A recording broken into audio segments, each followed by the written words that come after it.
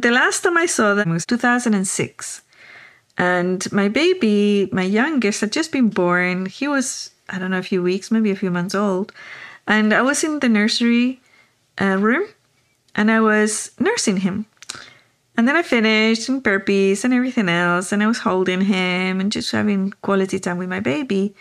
And I feel these two little friends in the room just looking at us and smiling, like happy, you know? And I say to them, Hey guys, I know you're here. You know, I really like to see you again. And they said, No, no, no, you're going to get scared if you see us physically. I said, Of course I won't. I know who you are. Like, come on. You know, I really want to see you. Come on, just make yourself visible again. I said, No, no, no, you're going to get really scared.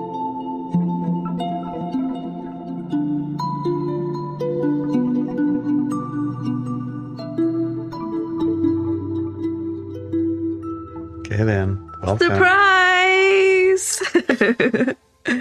Welcome to another episode of Driving to the Rez, but this time we're actually combining it with our Woo for Thought.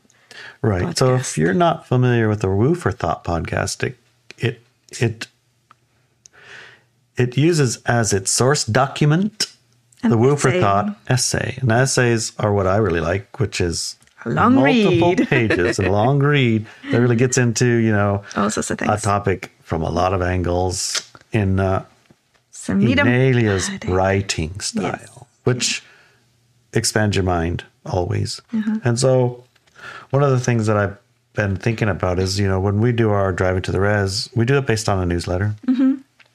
And the Woo for Thought that publishes a little bit less frequently. Once a month, on occasion, it's like Uh, once a every month two months, ish. actually. Every once, every two months, I think. Right, but we have a stack of them built up a little bit. do. So I thought that would be a good idea to bring attention to them through Mm-hmm. our Driving to the Rez podcast. You can also just subscribe to it at the Woo for Thought. Yep. And we are supported by our sponsors, which happen to be subscribe Scribe Star members. Mm-hmm. Right. They are also Walk With Me Now members. Those members have access to what we call the second hour. Yes. So I thought it would be a good idea to have a second hour with our Woo for Thought essay.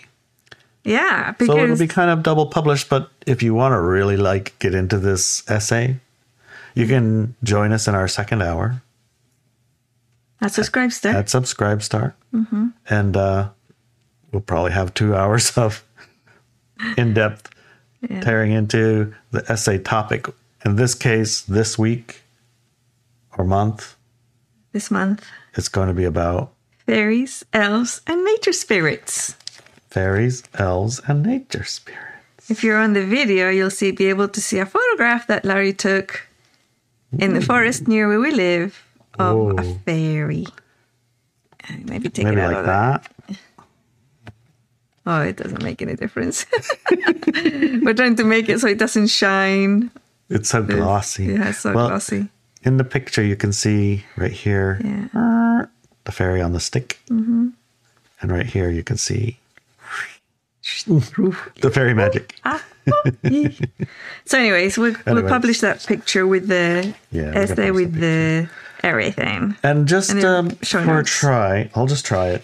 If you want your own print, I Mm-hmm. can print you one Sign it and send and it to sign you. it and send it to you Yeah. for the low, low price of. It's not free ninety nine because I do have to buy the ink. I do have to buy the paper And the postal and service. the postal. So uh, we'll work out a price and uh, it'll be fair and reasonable. Yeah. Probably in the twenty dollar range, Mm-hmm. something like that. Yep. Then you can have some fairy you can have your very own fairy fairy magic picture. in your house. Frame it if you like. You can have four by six, five by seven, eight by ten. I don't know if I can get much bigger than that. Okay. But- no, 8 by 10 should be Eight by ten's plenty. easier to send. I So you know, inquire through. Um, if you're on a subscribe star, you know you know how can go to drivingtotherez.com and there's going to be an email there too. Yeah, you can inquire through the email. Yes. This is a, an experiment, you know. an experiment. You got the first whack at it. Uh-huh. If it turns out, you know, That we like something it. people really like, and I don't mind doing it too much, then I'll I'll make it more formalized. We'll Yes. store, we'll put it on wherever it goes. But for right mm-hmm. now, if you really want one, mm-hmm. figure it out, and I'll do my best to get it to you. Sounds good to me. Okay. One of the questions I am often asked is Do fairies exist? I just showed you.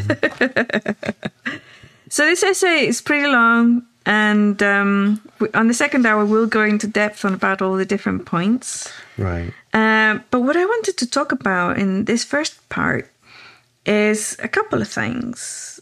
In the essay, I classify the fairy folk with experiences of the ones that I, ha- I had actually seen personally. And now that we're going out into the world at a public level with events and things, Larry has been meeting some very interesting people.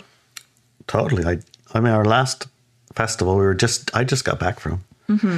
I met a fella who had just incarnated this time, having been a fairy last time. How did he would call a find that out? How did he find So out? he that- found that out through a regression. Ah, nice. And he's got these experiences in his life that are a little bit like, I don't understand it. I don't understand it. And so it was through a regression that he tried to find answers. And the regression, you know, is a is a method where you connect with your higher self and your like less um, current conscious memories. Oftentimes we'll tamper down our conscious memories a little bit so that our reality experience is the one we're having right now, right? It's it's got its purposes, but we want to scratch at it sometimes, and so when we scratch at it, we have an access point. Hypnotic regression is one of those. So he would be traveling. He he was um, in the woods, walking with his dog. I think Shasta or someplace like that. In Shasta, the mountain? It might have, yeah, it might have been Shasta. I think I remember he was at Shasta for one of these Oh, okay. hikes. One of the other hikes, he was at a different location, but Shasta was one of them. And he was walking with his dogs, and his dogs were making a little ruckus in this bush, mm-hmm. like a big bush with you know leaves and stuff. And he, he's like, "What's going on, guys? What's going on? He's got a fairy in there or what?" Like kind of joking with his dogs, right? So he pulled back the brush to look in what the dogs were barking at. And it was a fairy, a literal fairy sitting there going, The little ones? Yep, a little one. Ah, Going yeah. back and forth and back and forth. It was busy and it's like going out of time. Like zzz, zzz, zzz. That's how I described forth. it. Yeah, Yeah. it was like. zzz, zzz, zzz. and then he he looks like, oh wow, I see you. And then the fairy looked at him with his eyes like, what? You see me? And it went shoop and it zipped off. Right. So he was like, That's like the one we had in uh, Oregon. it's like the one we had in Oregon. Yes, Mm. the one that came riding a dragon or dragonfly or whatever, It was a big bug. like a big bug. Yes. Yeah, like a bumblebee or something. And it was, Yeah. yeah, it was very unusual. And then when it's noticed that it's got saw, seen, it was like, What? I'm yeah, out of here. I'm out of here. And so, uh, you know, that had a, some impact on him. And then it wasn't weeks or a month later, he was on another hike. And it was up the mountains a bit, the Rocky Mountains area. And he encountered a gnome, a little fella with the gnome hat and yellow pants and shirt, maybe with his axe or whatever they have. I don't know. It's like, is this hello? And the gnome, he's like, I'm like, hello? And the gnome said, yes, hello. he's like, how are you? I was like, oh, I'm, I'm fine. How are you? um, I'm great.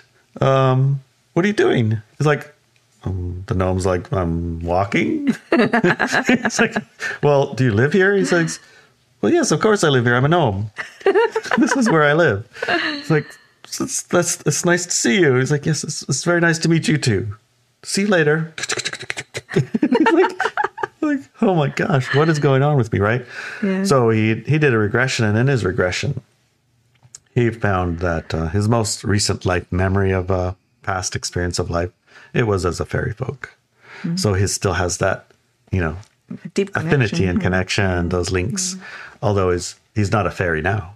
Right. He wasn't even dressed like a fairy. I was expecting, you know, fairy folk, you know, They usually do dress. there might flowers, be flowery or tutu-y, maybe with yes, you know things um, sparkly hair. stuff. I know when I hang out at fairy festivals, there's a lot of glitter involved. Yes, often. lots of glitter. Yes, yes. Mostly for men and women. Yeah. sparkly clothes. I have a lot of you know Colours clinky and clinkies, and bells, there'll be crystals whistles. and bells. Always some bells, some mm-hmm. tinkle tinkle tinkles, mm-hmm. right? Mm-hmm. This he, he was dressed like I was at this event. He had a sweatshirt. He had slightly dirty blue jeans. he had shoes that had been up and down the trails a few times, right?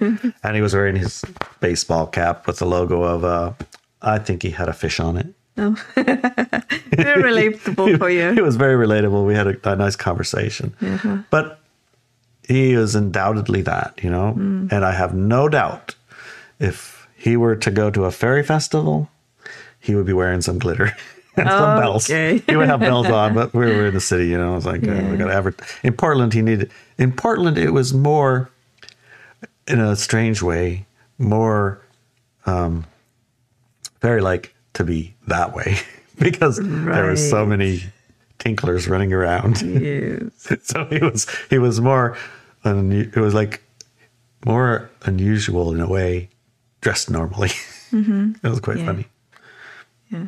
Oh, that's fun. Do you want to? Well, let's talk about the the one we had because the guy was. I haven't seen a gnome ever. no i haven't seen no walking down the trail No, but we did see, or I, I think at the time you saw him too, but I don't think you remember it.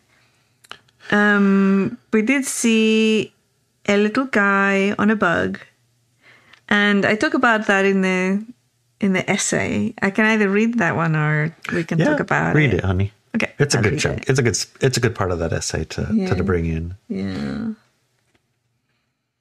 Okay. Although the gnomes might have been like the little fairies that folk uh, they called themselves fairies and my little friends when I was a little kid. Okay. It says next, let's look at tiny little beings who are familiar from fairy tales. They look like tiny little humans with dragonfly or butterfly wings. Hmm. Most famous were the fake photographs by two young cousins, Elsie Wright and Frances Griff- Griffin Griffiths, and they did it in the early 1900s. They were total fakes. yes Personally, I don't think there were any tiny little humanoids flying about with dragonflies or butterfly wings. I did not believe in them until I saw one myself. But even today, the thought crosses my mind that perhaps I was seeing things, but not so likely now that other people have seen them right live. it's intri- it's true yes and i have some more and pictures the same remember description. The same description. Mm, the same description the same like action Yeah. There's no logical reason for me to have been seeing things at the time, but the experience was so out of my concept of reality that it is hard to think of it as, a, as real. Here's what happened Larry and I were on a road trip and stopped at the Oregon Vortex in Gold Hill. Uh, on that first visit, we didn't go in as we had one of our dogs with us, and the dog was not allowed to go in. Apparently, dogs go unhinged within the vortex, so they don't even allow service dogs in. Disappointed, we took a walk up and down the road where the vortex is located.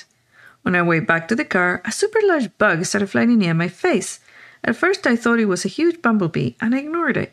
Eventually, pestered me so much that I stopped and looked at it. And my eyes and mouth fell open as I saw a tiny little man flying on a bug that hovered there in front of my eyes. His face did the same thing, shocked that I could see him, perhaps. And as I shouted at Larry to look at him, he flew away. After that incident, it has been difficult to say that these flying little humans don't exist. He didn't have any wings, exactly, but he was tiny and he was flying about. I still remember his face was so shocked. you can see me yes. that's what the guy said too it's like oh you can see me Yeah. Gone. not like to be seen very often Yeah, yeah. Hmm Anyways, I have a couple more pictures. The fairies, the fairy wings yes. from the, crystal, Yeah, two crystal of those. photography, crystal yeah. photography have those. I'll probably include those in the fairy, fairy photo package. Nice. Nice.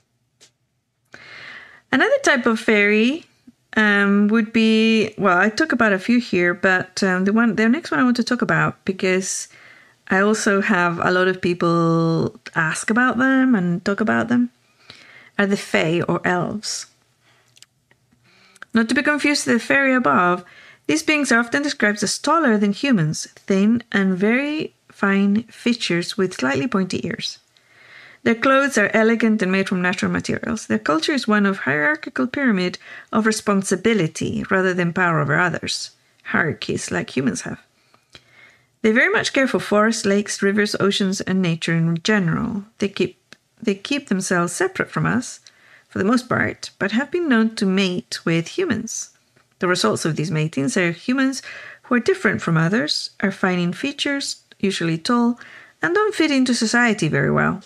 Although in most books these are depicted as white, my experience of them has been different. Their skin tones are not uniform, going from deep blues and browns to the lightest of pale white, and they do not have what we consider races within their overall Fey race. At an experiential telepathy level, I have met two Fey societies. One was on a hill at La Conner, Washington, USA, and the other was in Dublin, Ireland. The society in Ireland seemed to be underground near the arboretum there. Neither incident was physical in nature, but both had witnesses who also felt the beings communicating without me mentioning it. Hmm. the La Conner experience happened during a public event we had there. During that event, we had an outing to a nearby park. The park was on a hill. When we got there, the Fae came to us and made themselves known. This was entirely experiential telepathy experience where the participants of the event were able to connect directly to the beings there. In Ireland, Dublin, I was there visiting friends, and at some point we walked to the arboretum. As we were getting closer, I received a call, what I call a ping, following the computer language of one computer or person sending a ping to command, used to test the ability of a source computer to reach a specified destination computer. I answered it, and what followed was again an experiential telepathy experience. I did not see them physically. Do you remember the one in La Conner? Because you were there, huh? Yes, I totally remember the one in La Conner. What was your experience of it? My experience. Oh no no no no La Conner. No, I didn't. I thought you were talking about Mount Adams. It's a D. No, at La Conner, you were there. I was there, but I didn't. Uh, I don't have a recall of a, a Fey experience. Oh, that's really interesting. I wonder if all the other I probably ate the food. And that brings us to a different point, which is I have been asked if these type of fairy folk, the fae, the fae, are related to Lemurians. Oh yeah. And the answer is no. I They're don't not think so. Lemurians. Lemurians are just human who haven't chosen a like that paradigm, are and are part of that larger Earth, The larger earth. the larger Earth. I noticed that seating. Yes. And not a different species like the Fae are. They're definitely a different species. Yeah, I find it fascinating that you forgot about that hill and connecting with them and stuff like that. Yeah, I wasn't as uh, connected at the La Conner event as other ones because I had an event coming right after it that my attention was probably on. So maybe I didn't participate quite fully enough. Yeah, maybe. And you had other things in your mind too. Uh, I had triangles and all kinds of things happening. yeah.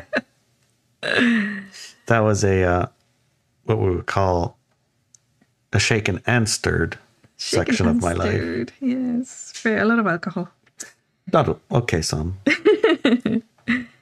Okay, so um, another thing is higher up on the article, but I did want to talk about it actually because when you talked about this guy who saw the gnome, this actually might relate a little bit. So when I was a little kid, I had a couple of friends, and um, the adults thought they were imaginary friends, but they were actually physically there.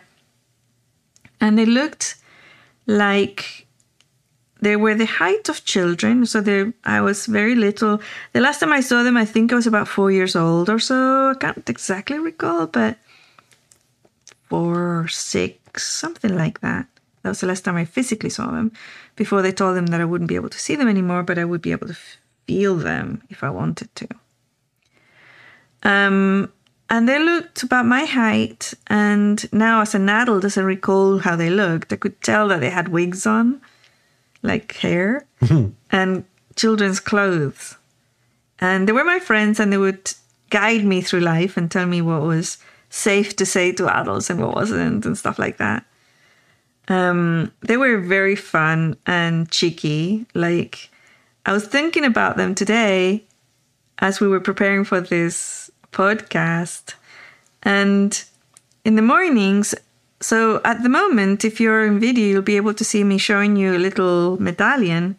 It's a black circle that I'm testing out to create some power objects that I'm going to give away to our friends in Christmas, but I'll also be going to be selling those as well. Um, and so I'm testing the material, and this medallion is made out of that um, Shungite shungite. Okay, from Russia. Yeah, I got it from a source, the highly respected source in Russia.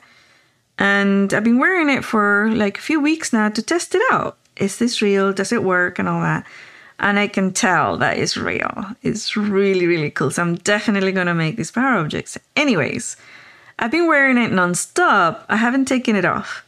And this morning I get up and it's not around my neck, right? Yeah. It's not on. I'm like, hmm, what just happened? I don't recall taking it off, but maybe I did. You know, when I'm usually when I'm writing book in my head, I do stuff and I don't remember, right? So that's not out of context at all.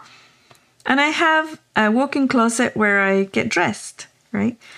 And as we were preparing for this recording, I went into my closet because I was a little bit cold. So I went to get this fluffy jacket. It's kind of a cardigan that's all fluffy. And if you see the video, you can see how fluffy it is. It's very fluffy. It's, it's Very like- really it's super fluffy. Very, very fluffy, right?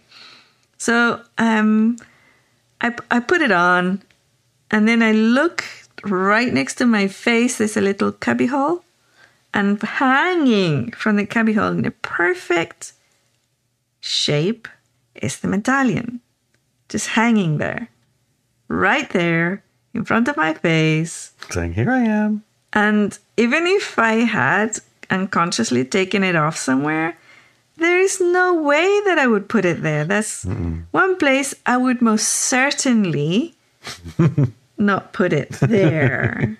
okay? My jewelry and my necklaces don't go there.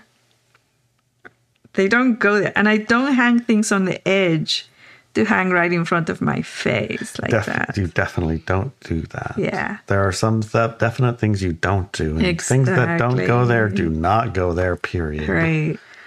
So I'm like, okay, little people maybe because I mean I don't talk about the little people in the article, but those are Typical. typical Little things that actions. yes. And I was like, little people maybe you're cheeky, you know. And I grabbed it, and as I held it in my hand, I felt my guy's energy, the the little friends, my No little way, you friends' did? energy. I did, yeah. Oh, that's nice. Yeah. So the oh my gosh, you guys. So I put it on, you know, I'm wearing it right now. It's really cool. And obviously when I if I do actually get around to making this beautiful power objects for people, I'll I'll let you know in my newsletter. Okay. With my glasses.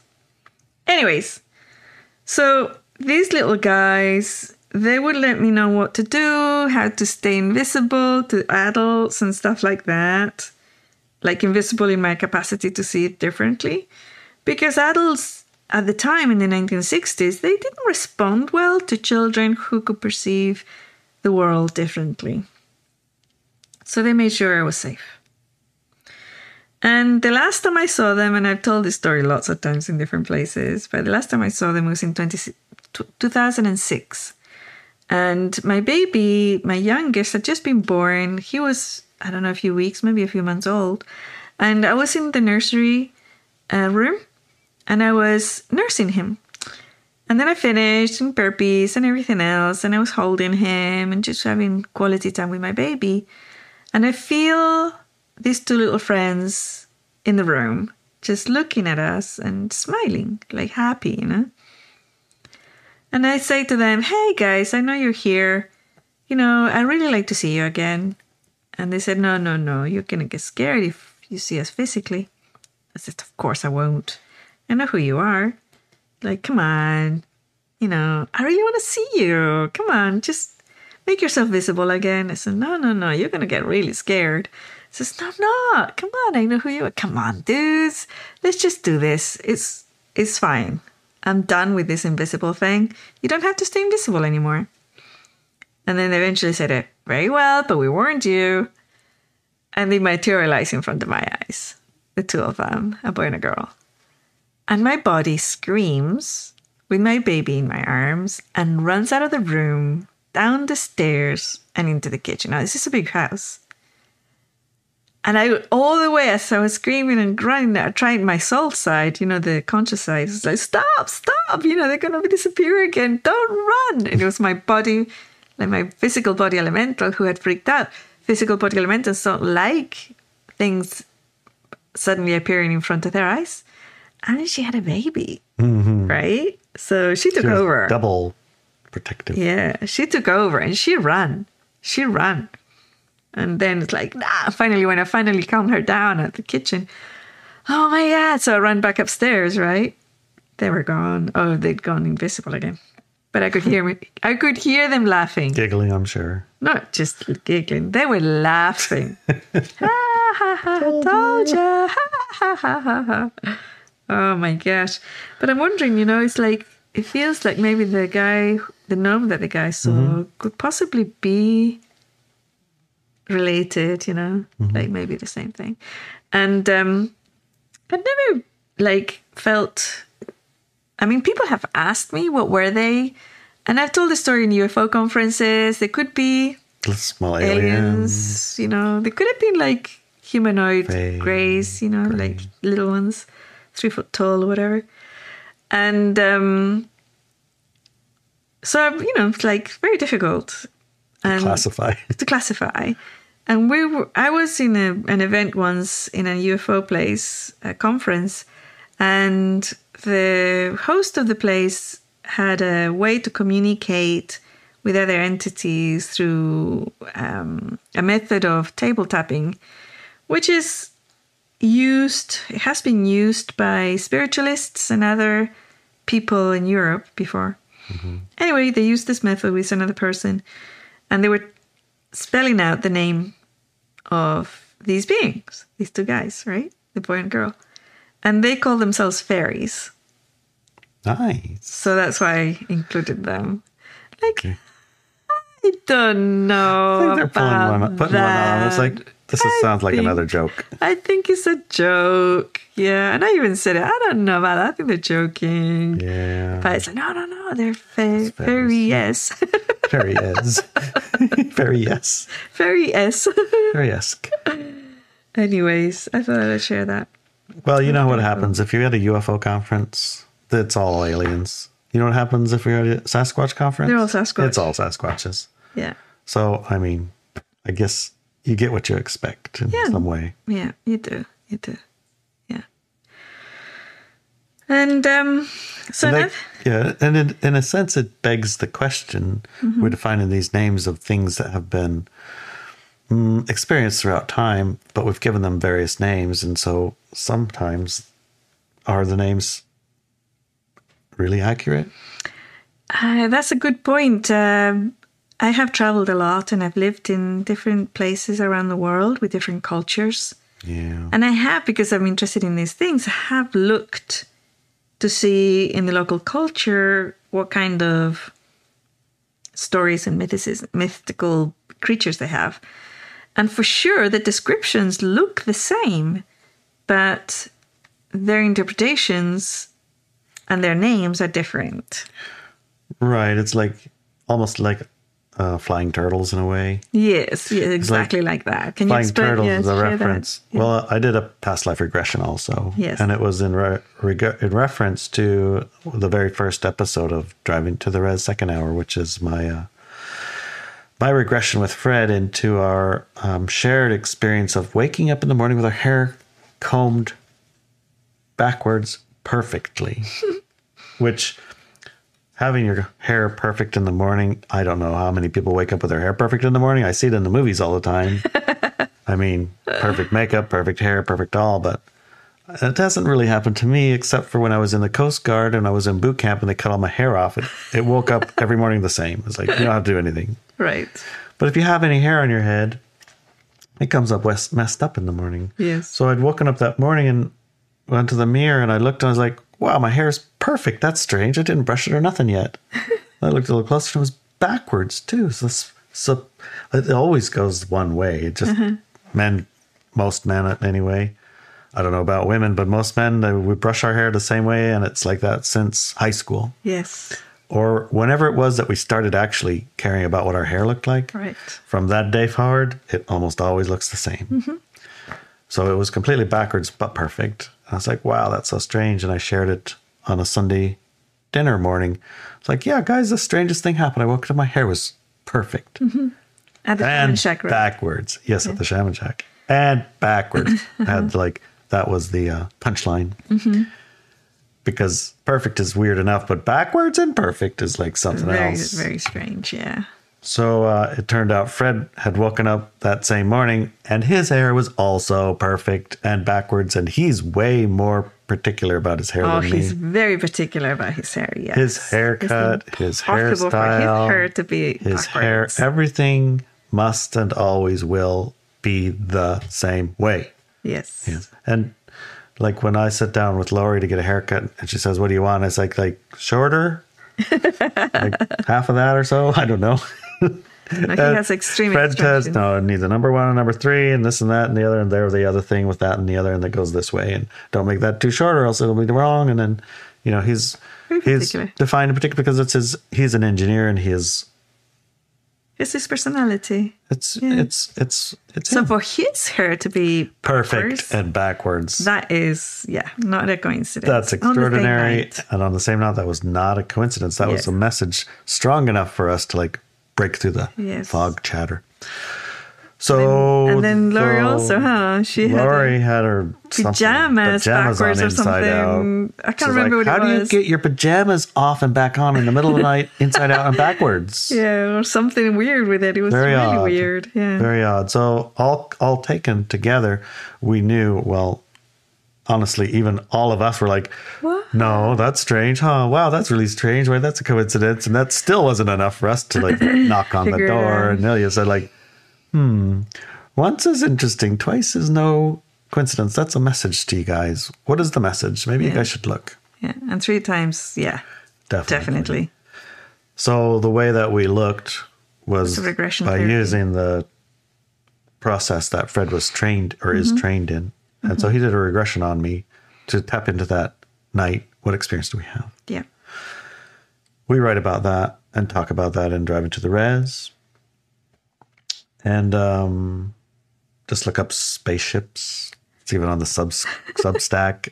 There's a newsletter about spaceships that you uh, you wrote uh, not too long ago, a few months, and it detailed your own visit to wherever it was we were going. You Yes. know, so if you're curious, go look up spaceships in the sub, sub Substack, and uh, you'll get the the nitty gritty for this episode. Right, one of my past lives in the regression. I was with uh, some friends, and we were sitting on our horses on the side of the canyon, looking out over the canyon, enjoying the evening. And it was like sunsetty. It's just as I remember it now. It might be it was sunrise. I don't remember now. We saw three flying turtles mm-hmm. fly by. Flying turtles. Flying turtles fly by. Yes. So that's the interpretation we're talking about because in, So, I mean, we will say spaceships, right. But at the time, saucers. they look like a turtle, mm-hmm. the shape of a turtle, and they're flying. So it's the giant flying turtle flew by. In Alaska, it's a flying clam, by the way, Yes, you with find people that inside. When I isn't when I flew up to Alaska and I got off the plane, I wa- and they're right on the wall, right in front of me, is this giant flying clam with people, in it. like, are you kidding me? Yes. Do you guys know what that clam, clam is? Yes, Yeah. Yeah. So Definitely the interpretation. there's interpretations right? involved Around in these world Yeah. in these words and it might be similar or same beings Mm-hmm. and we also might be assigning a shape and a size to them based on what we're seeing so Definitely. Yeah. All right. So for the second hour, we're going to continue this discussion. This is an experiment. We'll see if we like it, right? And for our supporters who are going into Subscribestar to sponsor all the work that we do thank you and also in Walk With Me Now. thank you thank you Yeah, thank you, thank you, all of you. And um, yeah, we're going to be talking about that. But before we go, i know there's one more thing very important. very important and we actually should have started with this Yes. Well, But maybe we'll edit that a little bit. well since we'll you made edit it, it. we might we'll have a clip at the beginning we'll Yes. see we'll see what Yes, we'll happens do. at any rate Here's a clip. especially This since you've made it this far Yes. Oh wait. okay, begin. Just tell them already. Just tell get them. it out of your mouth. So, Come on, tell them. one thing I want to make sure that you know is like when we talk about things like this woo for thought about fairies and aliens and flying turtles and such, it's to expand your awareness, right? Mm-hmm. So these mm-hmm. aren't unfamiliar things to you, and you don't get like taken away by some narrative designed to like grab you and distract you for a little while because we don't need distracted. You don't need distracted right now. No. You need to pay attention. Yeah. So, one of the other things is if you have an idea of the kinds of things that are coming, they won't grab you and sweep you away either. Hmm. So, to handle that, one of the very important rituals that we conduct is a looking ahead at 2020, whatever, or next year. 2010, whatever, or whatever. Looking ahead at the next year. Mm-hmm. What games are afoot? What mm-hmm. narratives are at play? What designs are in motion? What things might pop in? What are the likelihoods of? And what should we be doing? And what should we be doing? Because when we're when we talk, we're talking about um, a split happening on the planet right now. We're Yeah. talking about being prepared and capable and able to navigate it comfortably. I mean, if you want to be uncomfortable to navigate the split, I guess it's fine. Go for it. if you want to be comfortable in doing this, And knowledgeable. knowledge is required. You Yeah. got to like not get tricked Yes. no tricks on you. So we have a looking ahead call, and that happens every year. Yes. And this one is happening in a couple few days. Yes.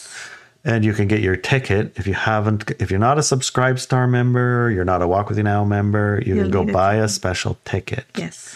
and that'll get you access to the Meat and potatoes part meat of and it. potatoes part of it. We'll do about a half an hour or so Yeah, of fluffy bunny stuff. hey fluffy bunnies that have like issues with this or that or just like hey what the heck's going on i don't i'm not sure if i'm like like this or whatever hey just listen to the half hour we'll go cover the fluffy bunny we'll give the year a look at and then we'll really dig into it in the second half sort of like the second half of this Yeah. the things that you know if we were to t- say out loud on a public channel it'll just get deleted so why even Yes, bother it's like we're just exactly. censored. no point in talking about it. If we didn't get deleted for saying it, then probably I don't know if you should trust us too much. so we just won't say it because we're like one strike and you're out, baby. We also have like you know you're able to have a chance to support us. So even if you are in Subscribe Star and even if you are in Walk with Me now, Right. you know, You could buy a go ticket. for it. Buy a ticket. Buy a ticket Yeah. and thank you for the Christmas present thank you or for the, the New Year's present, present. or the uh, support supporting the human collective Yes. getting access to all this information Exactly. because it's uh, it completes the circle, you know. It it makes us feel like what we're doing. I mean, It actually supports us so that we don't have to work at McDonald's to support the human collective. although McDonald's was paying pretty good lately. I Last know, time I it's drove, by, I was crazy. like, hmm. I remember I, I that was my first job. I know. I was I loved it. I was really good at it. I more spent- money. If we had just stuck with our McDonald's jobs, by now we probably had owned like twenty of them. yes, indeed. But I would be like uh, working for the um, shrinkage of the human collective awareness instead of the expansion of it. yeah. And so you know that's a little bit less satisfying. Yeah. So thank you for your support. And go over to Subscribe Star, search for Inelia Benz. And I think it is the $60 subscription that will get you into the call, the monthly, the annual call of looking at 2024. I thought it was all of them, but No, it's, it's a $60 one that gets into the second, I mean, the, the, the, gets the you a call. free t- a free ticket to the call. Yes. Okay. Yeah. The free ticket to the call. And walk Yeah. with me now. Yes. If you're on Walk With Me Now, you're set. Okay then. Yeah. We'll see you then in on the 31st of December, 2023. And also in the second hour. Yeah. And if you happen to be looking at this podcast way in the future in 2024, you can go to the store and download the pr- recording of the Looking at 2024. Right. So if it's February or something, you're like, golly. it's like, I really want to know what's going to be coming yes. in July. Yeah. Take a check. February, check out the public recording and then, Check the recording out. yeah, buy the download for the second part, the meat and potatoes part. Good idea. See you then. Okay. See ya.